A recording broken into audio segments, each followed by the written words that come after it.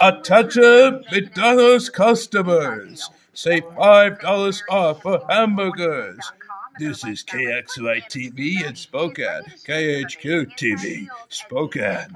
This major breaking news tonight uh, on up via U.S. Big Venture North Division. What are you uh, Joanna? I found it on Robbery at U.S. Big Venture North Division. I thought, sorry, I just promised.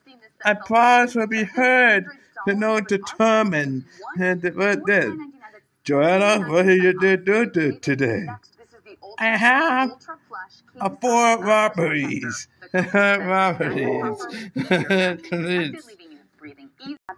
I had an armed robbery last night.